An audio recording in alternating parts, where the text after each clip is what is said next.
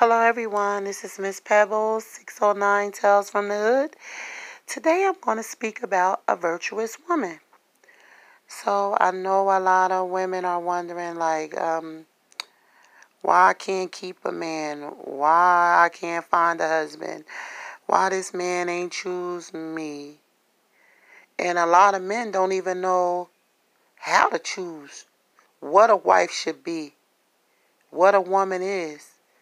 The Bible states, He who finds a wife finds a good thing. It is not he who finds a lady, he who finds a woman, he who finds a girl, is he who finds a wife. So I'm going to go into Proverbs chapter 31, verse 1 all the way to 31. This is going to explain what a wife is. Not what a woman is, not what a girl, a lady is, what a wife is, what a wife should be, and how a man should choose a wife. He who finds a wife finds a good thing, not she who finds a husband finds a good thing. That's why I don't never work. Stop going out here looking for men. That man has his rib taken out, a rib taken out of his body and is placed in his wife. That's how God made it from the beginning. So he's in search of his wife. His wife. So, Proverbs chapter 1, verse 1 reads The words of King Lemuel, the prophecy that his mother taught him. What, my son? And what, the son of my womb? And what the son of my vows. Give not thy strength unto women, nor thy ways to that which destroyeth kings. Excuse me. It is not for kings, O Lemuel, it is not for kings to drink wine, nor for princes strong drink, lest they drink and forget the law and pervert the judgment of any of the afflicted. Give strong drink unto him that is ready to perish, and wine unto those that be of heavy hearts. Let him drink and forget his poverty, and remember his misery no more. Open thy mouth for the dumb, in the cause of all such as are appointed to destruction. Open thy mouth, judge righteously, and plead the cause of the poor and needy. Who can find a virtuous woman? For her price is far above rubies. The heart of her husband doeth safely trust in her, so that he shall have no need of spoil. She will do him good and not evil all the days of her life.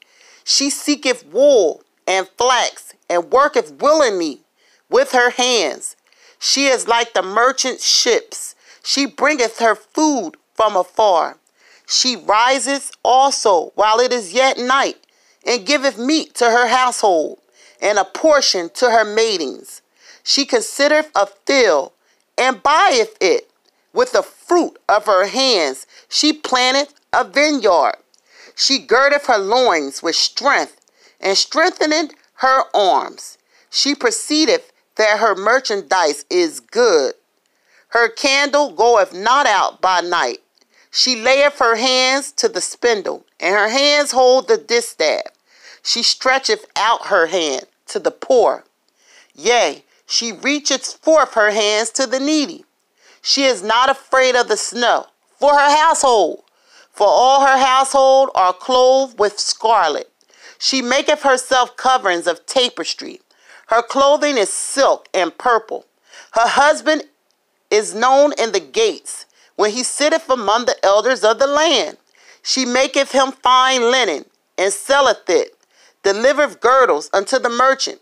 Strengthen, excuse me, strength and honor are her clothing, and she shall rejoice in time to come. She opened her mouth with wisdom, and her tongue is the tongue, excuse me, and in her tongue is the law of kindness.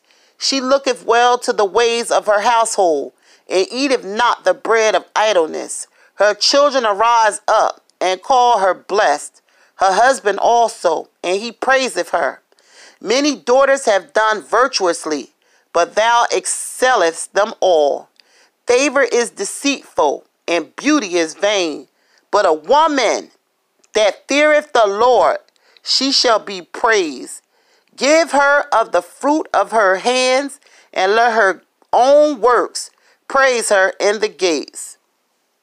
This is what a virtuous woman is. Who is like a virtuous woman? A virtuous woman should be a lady that you holding down the fork for your man, for your household.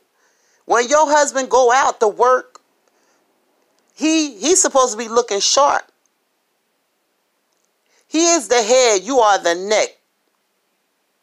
You get what I'm saying? The only time a woman should be taken over is when that man can't do it. I'm reminded of the olden days when they used to ride on a camel.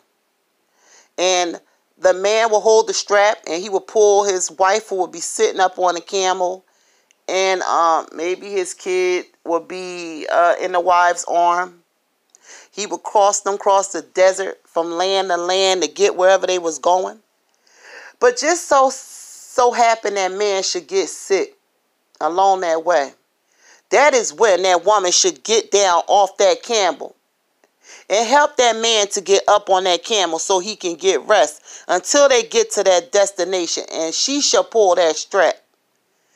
This is when a woman's strength should come in. When that man can't do it, you should be in secret. Back in the olden days, a woman couldn't even be in the presence of men in conversation.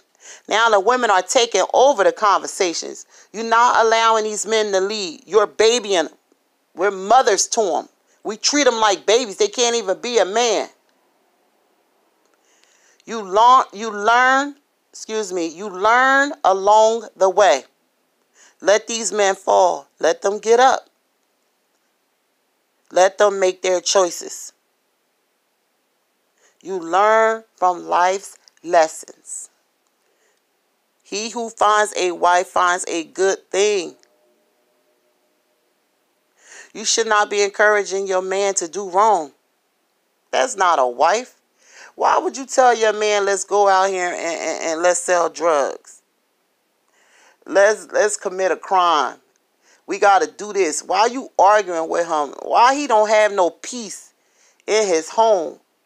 How it say somewhere in the Bible that a screaming woman in a home, a peaceful man is on a rooftop? It was something like that. That's crazy. That you do not have peace in your own home. You had to find peace outside your home. Peace with another man, peace with another woman. That's that's absolutely crazy. Peace in a bottle, peace with drugs. Peace should be in your home. After having a strenuous day, outside the house, at work, you should be able to come home and have peace in your home. Who can find a virtuous woman?